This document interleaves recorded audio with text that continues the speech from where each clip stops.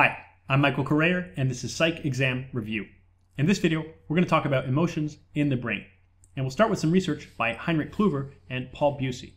And what Klüver and Bucy did was they removed the temporal lobes of rhesus monkeys.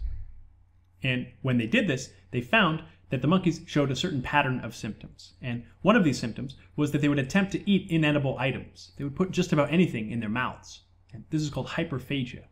And the monkeys also became hypersexual. So they would attempt to mate not just with other rhesus monkeys, but with other species, or even with inanimate objects. Lastly, the monkeys became incredibly docile. They no longer showed fear when they were handled by the researchers. In fact, they didn't even show fear in the presence of snakes. So here's a picture of Heinrich Klüver and Paul Bucy here, and I should mention that this pattern of symptoms is referred to as Klüver-Bucy syndrome. And here we can see a cat demonstrating one of the symptoms of Klüver-Bucy syndrome, and it's attempting to mate with a number of other species. And here we can see a kangaroo demonstrating the same. And you might think that because Klüver and Bucy surgically removed the temporal lobes, that the temporal lobes must be involved in these symptoms. So it must be the case that the temporal lobes are involved in regulating eating behavior or sexual behavior or fear. But that's actually not the case.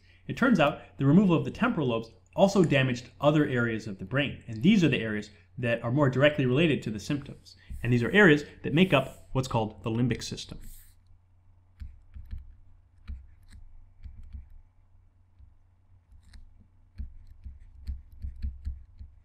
And so in order to understand these areas of the limbic system that are involved in these symptoms, we're going to look at some research conducted in the 1950s by James Olds and Peter Milner. So what Olds and Milner did was they surgically implanted electrodes into the brains of rats. And these electrodes were then connected to a lever. So the rat could self-administer electrical stimulation to this area of the brain that the electrode was connected to. And so what Olds and Milner wanted to see was which areas of the brain would the rat be motivated to stimulate and which areas would not be so motivating. So there were areas of the brain they connected the electrode to where they found the rat would avoid pressing the lever. But there were areas that the rat would be motivated to press the lever. And this indicated that it was pleasurable or rewarding to the rat to receive stimulation to that area. And so one of these areas was the septal area of the rat's brain, where they found that the rat would press the lever in order to receive stimulation of this area. And in later research, they found an area of the hypothalamus called the nucleus accumbens. And this area was particularly rewarding for the rats because the rats would press the lever continuously. They would just press and press. They would even ignore food or the possibility of mating or sleep in order to press the lever. And they would essentially press it until they passed out from exhaustion. So this indicated that this area of the brain in the hypothalamus was particularly important for understanding these rewarding activities like eating and sex. And so here we can see one of Olds and Milner's rats. You can see this uh, wire here is going to the electrode that's been implanted into the rat's brain. And so when the rat presses this lever here, he receives some stimulation of that brain region. And so if this were connected to the nucleus accumbens, then the rat would be likely to press this lever a great deal. And here we can see the location of the hypothalamus, where you'll find the nucleus accumbens in the human brain. Now, it's important to note that when this area was first described, it was referred to as the pleasure area of the brain. But that's not quite right, because it's not really the case that it's just pleasurable for the rat to receive stimulation to this nucleus accumbens area, but rather that the rat is motivated to continue to seek out this stimulation.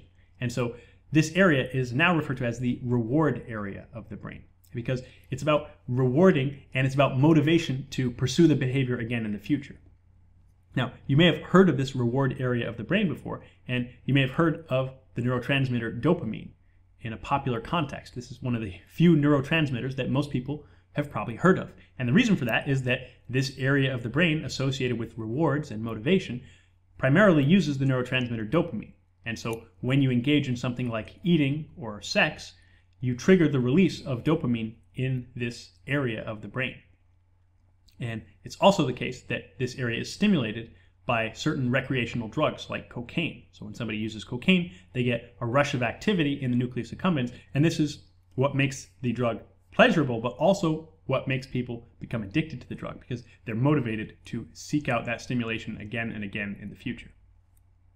Okay, so this helps us to understand why Kluver and Bucy's monkeys had issues with eating behavior and sexual behavior because of damage to the limbic system, including the hypothalamus. And so they were no longer able to correctly identify what things are they supposed to eat, what things are they supposed to try to mate with. And you might think, well, how does this relate to fear? So this brings us to the next area of the limbic system. Because we can see here a monkey that's not showing fear in response to this snake, which uh, normally a monkey would show fear in the presence of a snake. So what's going on here? Well, this relates to another area of the limbic system called the amygdala. And so here we can see the location of the amygdala. You actually have two, so you have amygdalae in uh, the brain, one on the left and one on the right. And you can see it's very close proximity to the temporal lobe, which would have been surgically removed by Kluver and Bucy. Um, and so we can see that that's probably going to uh, interfere with the ability of the amygdala to operate properly.